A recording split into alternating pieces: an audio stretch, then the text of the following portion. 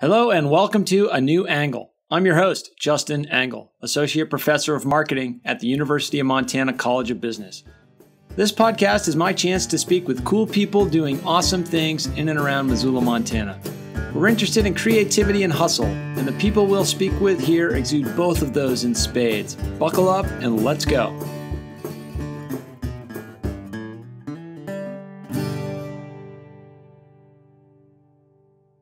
Hello, and welcome back to a new angle. Thanks for tuning in today. Today, we're going to shake things up and drop in an off schedule episode coming to you on this Wednesday. And the reason we're, going, we're doing that is to celebrate the success of the men's basketball team here at the University of Montana. I've had the great privilege and pleasure of having three members of that team in class as students over the last year Jamar Akoh, Bobby Moorehead, and Fabijan Krslovic. And these three guys just sort of exemplify what a student athlete should be. They're, they're great representatives of their team, of the university, and really enjoyed having them in class and, and getting to see the success that they've had on the basketball court. So we're here on the eve of the Big Sky tournament. The men's basketball team here has ripped through the Big Sky Conference regular season, and they're looking to cap off the season with a successful run in the Big Sky Conference tournament. And um, you know, hopefully play past that uh, well into March in the NCAA tournament as well. And we talk about that in the podcast today. It's a short interview. I didn't want to interrupt their um, their practice schedule and take away from their studies and their practice. So anyway, we get into it. Um, three guys from the men's basketball team. We wish them luck. I'll get out of the way and turn you over to Jamar, Fabijan, and Bobby. All right, so we're here today with uh, three standouts from the University of Montana men's basketball team. Fellas, thanks for coming on the podcast. Yes, sir. we got Jamar Akoh, Fabijan Krslovic, and Bobby Moorehead. And so these guys are all standout players on the hoops team, but also uh, I had the pleasure of having them in principles marketing class. They're students of the College of Business and standout students, um, fun to have in class, great contributors. So I'm going to feature you guys as the first students to appear on a new angle. All right. It's Well, exciting. Yeah. I say it's a big deal, but uh, yeah, the dozens of people listening are gonna, gonna realize. Anyway, so um, let's just kind of go through Jamar. So why Montana? Why University of Montana? You're a transfer student, right? Yes, from Cal State Fullerton.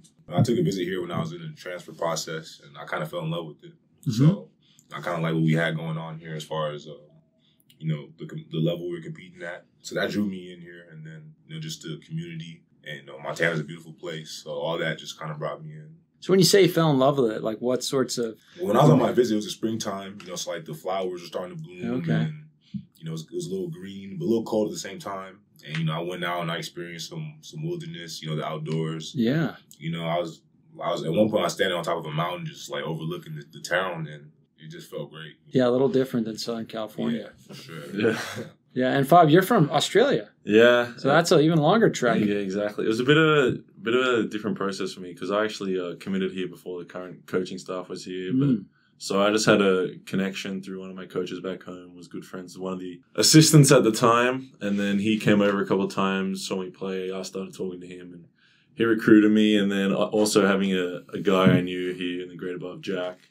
Uh, Right, just, right. He just it was a, it was a good fit, and uh, Jack Lopez. Jack Lopez. yeah, yeah, he's another alum of our Okay. program. hmm yeah. So I knew him from back home, and I was talking to him a lot, and he made it uh, just kind of reinforced the, the belief that this was a good place for me. And then it was a bit of a turbulent time when the coaching changeover, and I was thinking, what am I going to do? What am I going to do? But I think I had a little bit of communication with uh, Trav, the current coach. So, and just yeah, I was like, I'm gonna stick it out and come here, and it's it's been an awesome uh, three and a half years. So the coaching transition happened after you had After I- committed, but I you were not a student yet. Was, yeah. Oh, So interesting. it happened about I think I think it was like two or three months before I was supposed to come to campus. Okay. Oof. What's the pathway for like high school standout basketball players in Australia? Is there college ball there? Uh, Is there? There's basically two options you have if you want to keep playing after high school. You can either try get on a professional contract with one of the teams at home or keep playing at that level, or you come. A lot of people like to come to the US and play college basketball here.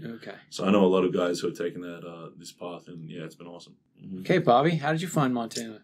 Well, you know, I started my basketball career a little later than most people. I started really playing in high school. Um, so I didn't really get very good until my senior year. And Okay. So And where I- was this? in Tacoma, Washington. Okay. So I kind of um, I wasn't really on the AAU circuit like everybody else. I did play one summer and I got hurt. and then I didn't get recruited until my senior year of high school basketball.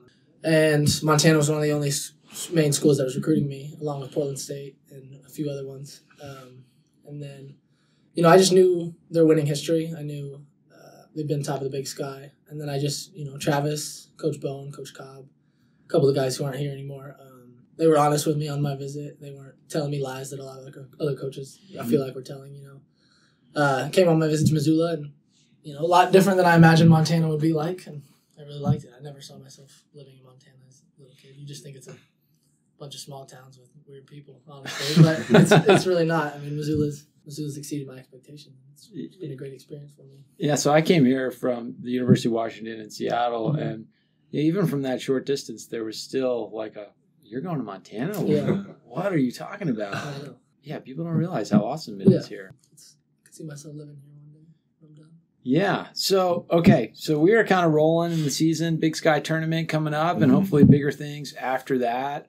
Um, you guys have had some awesome runs this season um, in conference play, been dominating. Uh, let's take us back to you guys had a big win in Pittsburgh, Mm-hmm. right? Early season was that early December, Second game of the Uh, year. that was early November. Yeah. wasn't? November. Yeah. but on the road, Pittsburgh. That's a big. They're Big East, right? They're ACC now. ACC now. Okay, Yeah. showing my age there. anyway, so that's a big win. Maybe talk us through through that. Yeah. You know, at the time, it, it really felt like a big win. And then now the season's going on and their season's not doing so Sure, well. It doesn't feel great. But, you know, at the time, I think that it was a big confidence builder for us because we had we had some new pieces. And so, I mean, just to go and beat any big school, it always feels great. Mhm. So that was, you know, exciting win for us. Uh, yeah, I think we've had a couple of really close games with some some big schools, some of the Power Five conferences in the past. Like my freshman year, we played Cal, really close when they were good. We should have won that game, and I think in my sophomore year, Gonzaga, Gonzaga, Gonzaga, when they were three to ranked, we very well could have won that game. So to finally get on the upper hand against one of those bigger schools, I think meant a lot. Uh, I know it meant a lot to all of our players and our coaches, and just shows uh, taking a step forward, like as a program, try finally getting over that hump. So I know I know everyone felt really good about that, and kind of yeah, it was it was very big for to start our season off right. you know, these guys have been here for three, four years. You know, I'm just, I'm, this is my first year with the team. I'm actually playing, and I've heard of the, the close games they've had with these Power Five, you know, schools and these big teams. You know, so it felt good to to finally get one. You know, it was our coach's first one, Mm-hmm. and so it felt really good. So what's that feel like when you guys, you know, well, maybe you don't know, you got a sense that you're good. You're knocking on the door, right? Losing to Gonzaga by by three, just chipping away, chipping away. But there is an enormous difference between dropping a game to a big score, you know, losing to a big school by a point or 2 Mhm. and then finally getting that win. Yeah. Like what? Did you know you could do it? Like wow, what's what's in the mindset at that I point? mean, we always knew we could do it. We've always felt very confident going into those games. And It's always easier to get up for those games when you're playing these big schools. You know, you're really excited as opposed to Sure. playing smaller schools. Sometimes it's it's always hard to just Yeah, get super excited about it. So we're always amped for those big ones. Uh, but then just getting over that hump was just huge. You know, I mean, coming up short against Gonzaga when you look back at plays, and we think that if we change one thing, that game is ours. And then you know that kind of happened at, at UW this year. A couple Mhm. calls we feel didn't go our way, and we lose by three to UW at Washington, Yeah. which would have been a really awesome win. You know. And the conversation it kind, it kind of changes, you know, once you've been there. You know, it's kind of like we've been here before. Like we know what we have to do now. We have to get over the hump. You know, so you kind of learn how to win those games. Is that explicit? Like, do you guys discuss it, or is it just sort of in the in the team culture? It's, it's it's almost in the culture now. It's almost like an expectation that we're going to be in these games. You know, like Travis doesn't really talk about them as if they're like this school that's just so much better than us. It's, Yeah. it's like, what can we do to put ourselves in a position to win this game because we sh- should be playing with them. Like we just have talent, and Travis coaches us really well. So Yeah, I suppose it's sort of this balance between. I mean, you don't want to like create a boogeyman of oh, Yeah. this, you know, this team is so dominant and so big, and we're Mhm. not on the same level as them. But at the same time, there is a a kind of a bigness to some of these Mhm. schools that you guys are competing against. I'd That say, um, I say we just expect to compete. yeah, Really, that's all it is. yeah. I mean, it's not. I mean, it's like that scene from Hoosiers, right? When they come in and they measure Yeah. the the hoop, they yeah. measure the free throw line. It's Yeah. like this. It's five guys on five guys, right? Mhm. yeah. So we're about to enter the uh, Big Sky tournament. I mean, you guys, what you rattled off was it 11 straight, 13, 13 straight, 13 and straight, dropped and one to Eastern Washington. Dropped uh, both games on the road last weekend.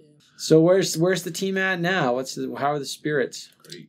Yeah, Yeah, we're- yeah, we hadn't lost in a long time, so uh, I, a lot of people probably just didn't really know what to feel. I mean, Right. It's been a while since we lost, um, but surprisingly, everybody handled it well. Everybody was ready to get back to work this past week and knew that ultimately we control our destiny and what happens going forward. We can we can control whether we win conference or not. So yeah, it's not like we have to wait for somebody else to lose or somebody else to win for us, which is you know we're in the driver's seat, so it's really exciting for us. Um, so I think everybody's really optimistic going forward. Yeah, it's true. We haven't we haven't really been in a spot like even my freshman year when we won it, uh, we were the number one seed. We we went in this situation where we were in control of our own hands. We I remember the last day of the year we were, we were all watching. Uh, Sac State was playing uh, NAU on the road, and we are all watching our screens because I think Sac State had the tiebreaker over us, and we were just all hoping they'd lose. And so they lost that game, and we had to just go beat Montana State to get the one seed. So we're not even when we won it, we weren't even as in as good a position as we are now. We were still relying on other teams up to the very last day, whereas now we got uh, three home games and uh, going ahead. If we if we win them, there's no question we're going to be the number number one team. So that's really nice feeling to have. Now, when you speaking of home games, like how, what what are the dynamics there? What is it like playing here versus other places? What's good about being And- home? Routines. You get to Yeah. stick to what you do, and you're more comfortable. You know, sitting in your own bed. Yeah, You get to go to the gym whenever you want on a game day. You know, if you want to work out or lift or whatever it may be. Um, and on the road, you know, sometimes you can't get in the gym, or you know, you're in a hotel and you might not sleep well in a hotel. Oh, or yeah. You have to cater be. to what the other team's practice Yeah. times. the or food is a little things. less Yeah. stable. Yeah, Mhm. It's a absolutely. lot of different things that go on. Those, yeah. Although one thing I remember from road trips in college um, is that there there was an additional, perhaps a level of focus, just because you were all together. You know, you weren't sleeping True. in your various apartments or dorms or whatever. Mhm. So there were some things about road trips that could focus you. Yeah, that's true. But I think another thing I like being at home is, you know, you can, it's not just focused about basketball for four days straight. You Yeah. you can mind off a little things. It's not, doesn't, sometimes on the road, I feel like maybe just the pressure builds up and you just maybe a bit too tense about things. So it's another thing I like being about home is you can take your mind off a bit easier. You know, you, yeah, as Jamar said, you sleep in your own bed. You can do whatever. You stick to your routine. You know, stick to the same framework that everyone has to follow. So yeah, I think that's one big thing that probably people don't think about when they think about a, a home home court advantage. You don't miss as much school as Yeah. well. Yeah, that last That semester was- was pretty difficult. Yeah, I remember having you guys in class four- last, last fall. Four It weeks of Yeah, last semester, was brutal. Yeah. Like yeah, last four weeks there was some classes we didn't get we, to go we to. didn't, didn't go until the final. Yeah. Yeah. tough, And that's uh, tough. I mean, so that's a nice transition into one thing I, I wanted to cover. It, it's challenging being a student athlete, and you guys succeed. You know, you, you excel in the classroom, and you're excelling in your sport. Can you talk a little bit about you know, your experience as a student athlete? How it's been easier or more difficult than you imagined in your time here? Yeah.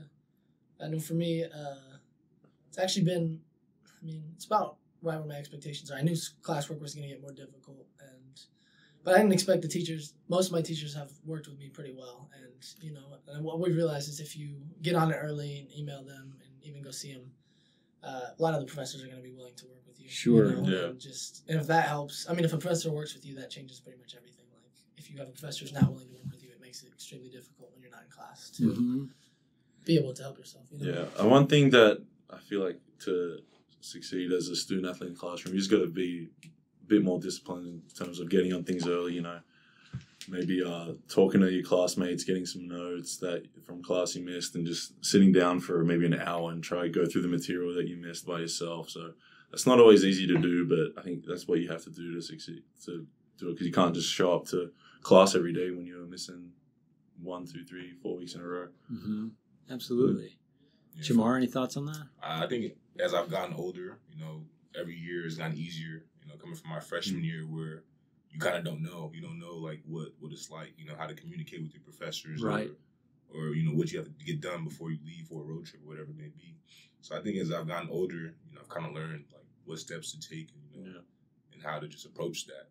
Yeah, and it would seem. I mean, I know in the in the marketing class we had together. There's a big group project at the end of the Mhm. semester, and trying to, you know, I know as, as when I was a student athlete, like being a part of a team was important, and so being a part of a student team was important. Yeah. I'm sure you guys take that Mhm. work seriously. Yeah. And how do you be a good teammate to your to your fellow students in the classroom while trying to manage your commitments to, to practice and You stuff? kind of hope they just understand. I mean, 'cause- Do they get it? Yeah. Yeah, because you know we, you know we have group meetings outside of class, and you know maybe it's during practice time, and or you have something you're on the road or something, Yeah. and you can't make it all the time. And um, you know some people understand, some people don't, and you just kind of hope that they do, and you kind of you just do what you can. You know, if you you offer to help, uh, with whatever you can, do your part. You know, that's the main thing, just making sure you do something, uh, do your part, and try offer. and, try and contribute. Even though you can't be there. It's just Yeah.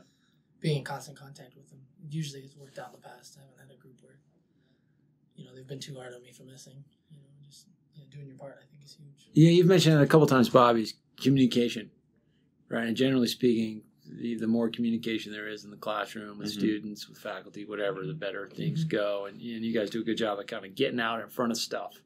I know, Jamar, I remember you came to me with the schedule and like end of September saying Yeah. this is going to get rough in late October, late November early December. And at that point, like the more we're aware, everybody can plan around Yeah. that stuff. Yeah, that's something we preach, you know, on our team. It's communication. And, Yeah. you know, it can take you a long way. Yeah.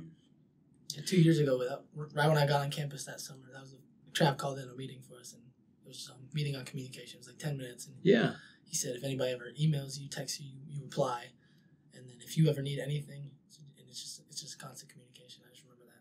Yeah, so talk more about that. So communication, sort of a fundamental value of the team. What other sorts of things are fundamental values that build this team? Respect goes along with communication. You know, it's just uh, being on time to things, Mhm. being early to even things. Uh, when you let your trainer know you're going to go in to get treatment, you be there on time. Or strength or weights. You know, when you're supposed to be there at noon, you be there at noon. Yeah, So just respecting the people who are putting their time into us as well as us into them. You know, So Sure. Respect is a big thing for us. respect, communication, Accountability. accountability. is Those big. kind of all go together. I mean, yeah, at a certain point, it becomes yeah, culture almost where, you know, I don't know that we're quite there yet. Whereas, you know, you see some of these mid-major schools who are basically high majors like Gonzaga or Wichita State, where this culture is just built in, and it doesn't even really necessarily be discussed. You know, it's just something that you know, That's expected. you just it's expected. Yeah. Yeah, that's interesting. I mean, that's something I think about a lot because culture is it's it's hard, it's murky, it's hard to kind of describe. Yeah. But you know, when you're on a team that is committed to winning, you know it's just part of the ether. And there's a fine line between that and, and, and other teams that that aren't winning, and you can't just attribute that to hard work. I mean, everybody's working hard, Yeah. or at least they think they are. Um, can you talk a little bit about that? Have you been on teams where you thought you were working hard and then you didn't quite realize it until you've been on a team like the one you're on now, or situations like that? I would say, well, I was gonna, I would say even last year, just Okay. we were 16 and 16 i think and you could just feel the difference in the way people are working this year and just the, from the program top to bottom it's just, it just feels different i don't really know how to describe it but everybody's more bought in this year as opposed to last year Yeah, how does that happen? Like, did that happen right from the get go, or What's funny is I was doing an interview and somebody asked me that, like how we're like how are we putting our egos aside and how are we how is like everybody bought into what we're doing. And Sure. I told the guy I don't know. Like, I think it's something that just kind of you can't really force it. Either it's gonna happen or it's not, and that's what makes teams special. Whether they can get guys to buy in or whether you know people don't. And I think we just have a group of guys that you know we're, we're unselfish and we care for each other. And I think that's the biggest thing is uh, just who we are, and you know we're we try to be the best people we can. You know, off the court, on the court, you know, in the community, whatever it may be.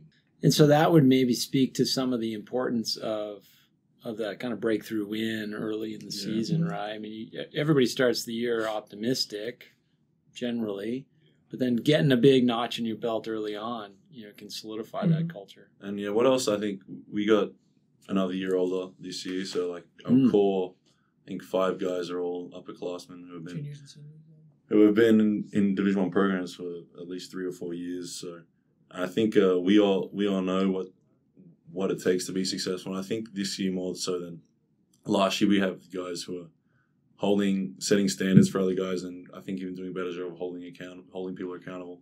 I know Jamar's been a big difference. Like last year, you know, he wasn't he was around the team a lot, but he didn't get to travel with us. He wasn't playing with us, but he was he was still being a leader in locker room. But now that he's uh, he's playing. He's with the team all the time. He's going to tell people when they screw up. He's going to tell people if they're not doing things the right way. And I think, yeah, he's that's just one example of how uh, the culture's kind of changed, and we're uh, more as a group bought into doing the right things. And because, and then even when we stray from that, sometimes mm-hmm. we're gonna gonna have guys who are gonna pull us back in and put us on the right path. So I think that's that's been really big, really big time this year. Yeah, so different roles in your in yeah. your culture Our roles are very defined. I mm-hmm. think everybody knows, you know, what to expect from Fab, Bobby, or you know myself. You know, the other guys on our team, they know that as well. And the people that you know maybe don't have as big of a, as a, of a role, they understand what their role is, and they try to they try their best to uh, fulfill that. Yeah, absolutely. Um, so we got those last few regular season games, Big Sky tournament, and uh, you know I don't want to put you guys too on the spot, but I'm sure you have ambitions to play, you know, well into March. Mm-hmm. And um, and what do you think? I mean, none of you guys have ever played in the NC2A tournament. What was the last time, Fab? It was 2015? 2013. 13? The Griz made it. Yeah, yeah, so great opportunity there. We don't want to count chickens before they hatch. A lot of wood to chop. But um, what do you think about that opportunity? For Especially for a small school like us, it doesn't really matter what our record is in conference as long as we win three in a row sure. in that conference tournament because we're not really going to get at large bid. It just mm-hmm. doesn't really happen. So, you know, just to prepare ourselves as best we can and I'm looking forward to it. But we gotta, we gotta handle our business and make sure everybody's ready. That's why you play every game this season. You want to build. You want to get better. It's around March, this time of the season, it's when you'll be at, be at your best, so you can make run in the tournament and play in that uh, in the NCAA tournament. Probably the biggest.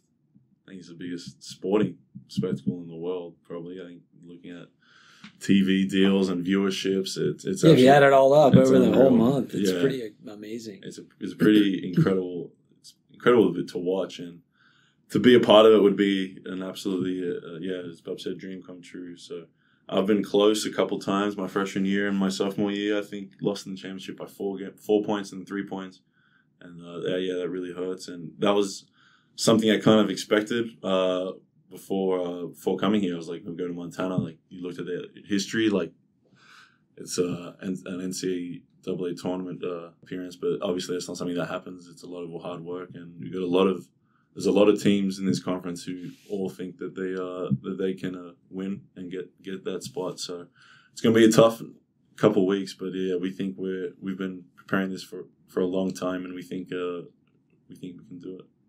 Nice, Jamar. Any thoughts on that? I have too much to say. Um, I just know it'd be a dream come true for me. Uh, this is the reason I came here to compete for a championship. You know, I'm blessed, you know, with this opportunity and hopefully we'll just we'll do our best, you know, just to see what we can do in there. Mm-hmm. And, you know, we'll see. Well, guys, I really appreciate your generosity of your time. This is a Friday afternoon, and you guys have practice, so I don't want to make you late to that for sure. But thanks so much for being committed to this university. You represent yourselves well. You represent all of us well, and uh, thanks and good luck. Appreciate it. Thanks. Appreciate appreciate you having us. Thanks for listening to A New Angle. We really appreciate it. Remember that A New Angle was brought to you by CED, Consolidated Electrical Distributors. They're our first sponsor, and we can't thank them enough. Coming up next week, we have Mike Foote. Mike is a professional athlete in two sports that not many people know about. Mike really has to hustle to make a living doing what he loves, and we're going to talk about all of that. And if you enjoy this podcast, there are several ways you can support it. First, rate us on iTunes. Second, write a review. And third, please just tell your friends about it. For information on sponsorship opportunities, please visit our website www.business.umt.edu slash a new angle. As we close, if you have any suggestions, comments, questions, insults, whatever, please email me at a new angle at umontana.edu. Help us spread the word and be sure to use the hashtag a new angle when you do. Thanks a lot and see you next time.